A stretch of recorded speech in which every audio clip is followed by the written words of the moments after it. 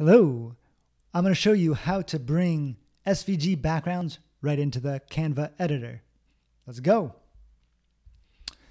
So I'm Matt Visiwig, and we're headed to svgbackgrounds.com. Here you can grab a bunch of free and I like to think cool backgrounds.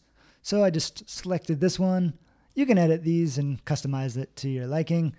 You can also make them look ugly if you please. So we're just going to go with the default for um, this tutorial. We're to click the export button. I don't know if you can see that.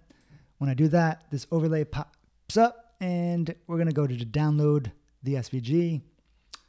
I'll go over here. It goes into this um, temporary downloads folder.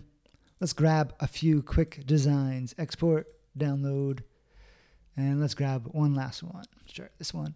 Export, download, and there we have it. So now we just head right over to Canva. I took the liberty to do to design this beforehand. When I say design it, I mean I clicked a template. Um, so we got that. Next, we just need to upload our SVGs that we downloaded. Gonna drag and drop them. You can do this from a folder or your desktop if you're like me and have millions of different things you download and leave forever. All right.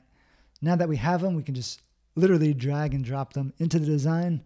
Um, it places it above all the elements and behind the text. I actually want to put it right in the back. So I right click, send it back. It throws it to the very, very back. So I deleted the other background. And now I can just resize this. And now it covers the whole background.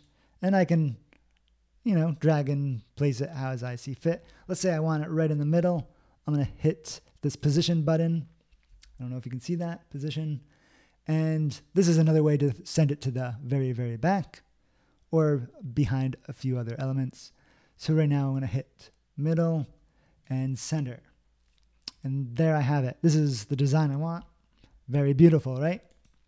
Um, let's try some others while I talk about why you might want an SVG background. One is not going to pixelate when you stretch it out like this.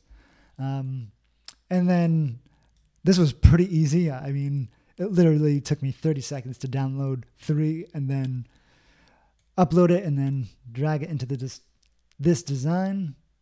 Um, let's try one more. I like that, by the way.